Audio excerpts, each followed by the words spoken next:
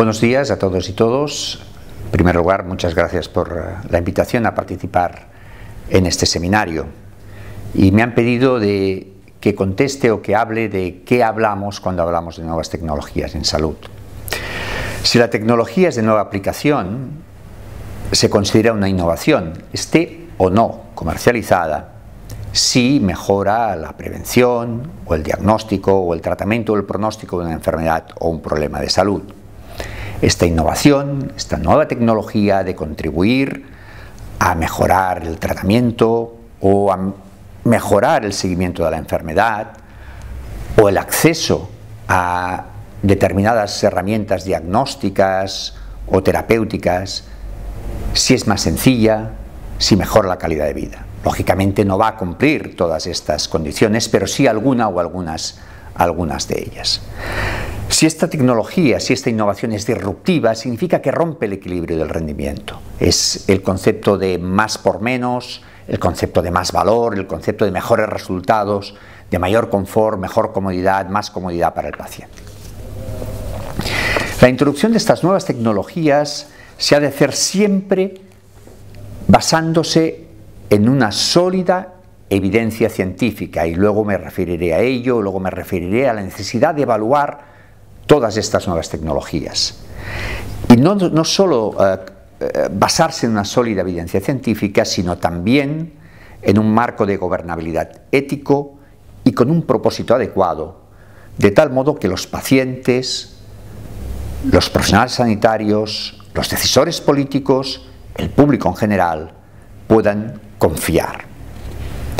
Hay muchos ejemplos, yo no los voy a enumerar todos, ni voy a explicar eh, todas las nuevas tecnologías, no creo que este sea el propósito, pero sí daré alguna pincelada de alguno de ellos, porque también a partir de aquí sugerirán o se, surgirán eh, dilemas éticos que ustedes luego van a estar discutiendo durante, durante este seminario. Podemos hablar, por ejemplo, de la telemedicina, que es la aplicación de la telecomunicación, de las nuevas tecnologías de la información para compartir precisamente esta información, para proveer atención clínica, educación sanitaria o servicios administrativos a distancia, por poner algunos ejemplos. Nos permite mejorar el acceso a determinados servicios de salud a aquellos pacientes que viven en zonas remotas. Otro ejemplo podría ser controlar pacientes en unidades de cuidados intensivos, a un control más remoto o bien realizar visitas eh, virtuales eh, tanto en el campo de la medicina como de la enfermería. Aparte de, evidentemente, todo lo que significa de confort para el paciente, porque disminuimos viajes, etcétera, etcétera. Otra nueva tecnología que irá a más, pero que ya es una realidad, son los dispositivos de 3D, impresiones 3D. Incluye todas aquellas tecnologías dedicadas a crear productos médicos altamente personalizados, adaptados a las necesidades fisiológicas de los pacientes, o a crear productos para la formación de profesionales, a la planificación y a la simulación quirúrgica. Tenemos prótesis impresión de prótesis, prótesis dentales, eh, prótesis ortopédicas, etc.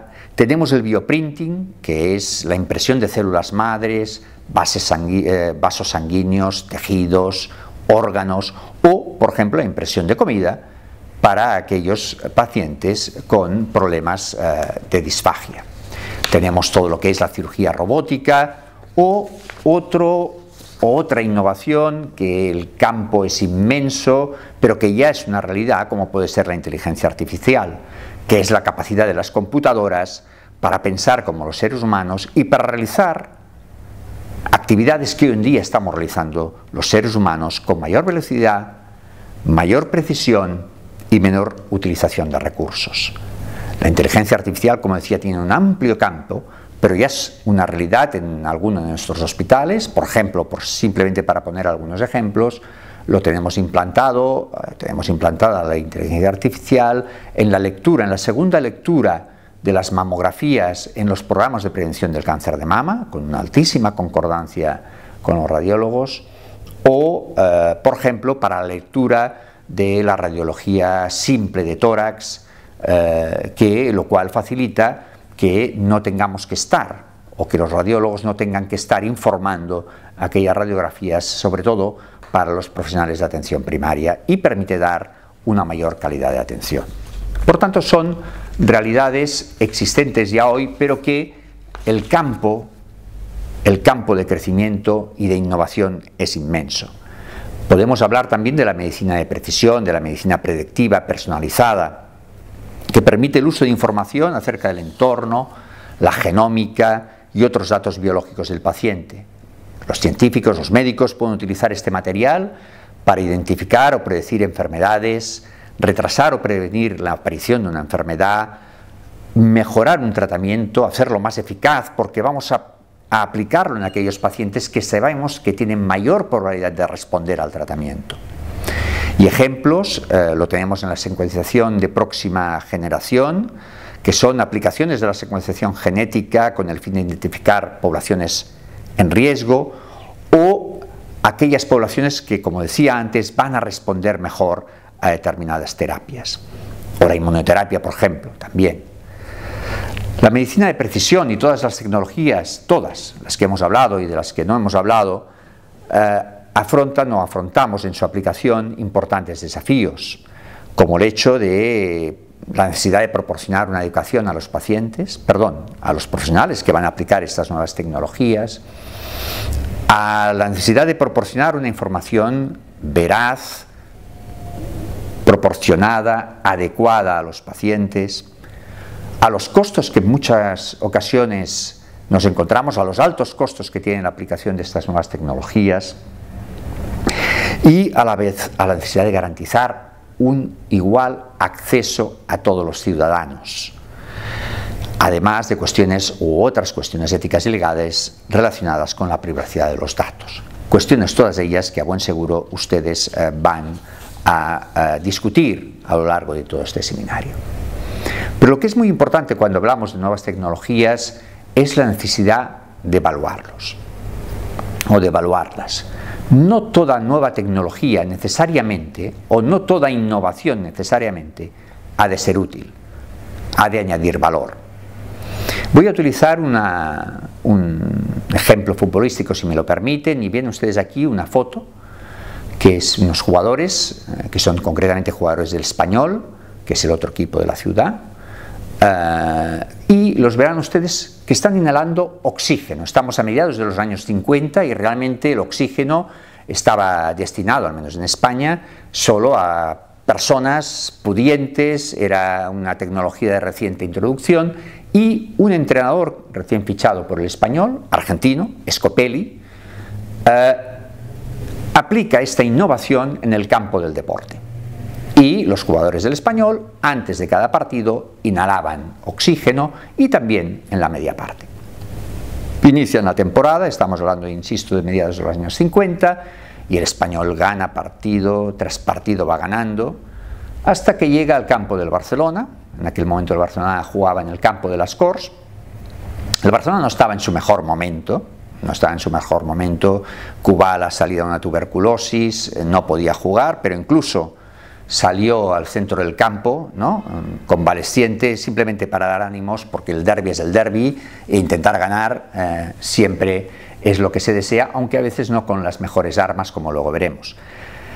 El español empieza el partido, primera mitad, 0-1, y llega al vestuario. ¿Y qué se encuentra? Se encuentra pues un montón de toallas quemadas, una humareda impresionante y por tanto no pueden inhalar oxígeno. El Barcelona siempre negó que fuera el causante de esta humareda y de esta quema de toallas, aunque todo el mundo sabía que realmente fueron ellos los que lo causaron precisamente para romper lo que se llamaba en aquel momento el efecto Scopelli. En la segunda parte el Barcelona sale y consigue remontar y consigue ganar aquel partido por 2 a 1. A partir de aquí el español va mal, no termina muy bien la temporada, el Barcelona empieza a despegar, a despuntar y termina ganando la liga. Realmente la pregunta es, ¿añadía algo el hecho de estar inhalando oxígeno? No. Todos sabemos que en la población normal, nosotros si no tenemos una enfermedad eh, respiratoria y mucho más, un deportista, su saturación de oxígeno será buena y por tanto inhalar oxígeno no va a añadir nada. Si me permiten el ejemplo, es como si yo tengo un vaso lleno de agua y le voy, voy lanzando agua, el agua se va a desparramar no voy a llenar más el vaso porque ya está lleno. Por tanto, esta idea de necesidad de evaluar, porque no toda innovación por sí, por sí misma, es buena.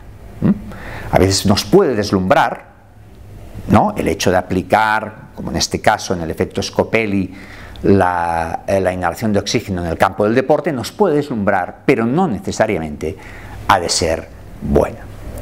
En otros casos, si me permiten otra analogía futbolística y otro ejemplo futbolístico, en otros casos la innovación va a ser útil para un determinado grupo de pacientes o en unas determinadas circunstancias. Aquí tenemos al flaco Johan Cruyff, uno de los genios del fútbol, eh, lanzando un penalti. Todos sabemos que los penaltis los podemos lanzar de muchas maneras, podemos lanzar a reventar, podemos lanzar a la base del poste para que no pueda llegar el arquero, podemos ya lanzarlos a Lopanenka, en aquel momento ya se habían lanzado los penaltis a Lopanenka, pero Cruyff innova y lanza el penalti de esta manera, que luego hace un par de años Messi y Suárez emularon. Pero todos sabemos que si todos siempre estuviéramos lanzando los penaltis de esta misma manera, el arquero estaría preparado y por tanto el efecto sorpresa, el efecto innovación, la novedad, se perdería. ¿Mm? Podemos utilizarlo en momentos muy determinados, en circunstancias muy determinadas. Lo mismo nos puede pasar con un determinado tratamiento o una determinada prueba diagnóstica. Puede ser útil para un grupo de pacientes en concreto, pero no necesariamente para todos los pacientes. No quisiera seguir con el fútbol el símil futbolístico, pero podríamos hablar de que hay un Messi en Barcelona y un Messi en Argentina. ¿no? no todas las circunstancias ayudan, a veces Messi puede dar más juego en Barcelona porque las circunstancias ayudan, porque el equipo ayuda, en otras ocasiones puede ser más difícil. Aún así sigue siendo el genio mayor que ha dado el fútbol. Pero sigamos con otro ejemplo futbolístico no perdón, futbolístico, sino de deporte.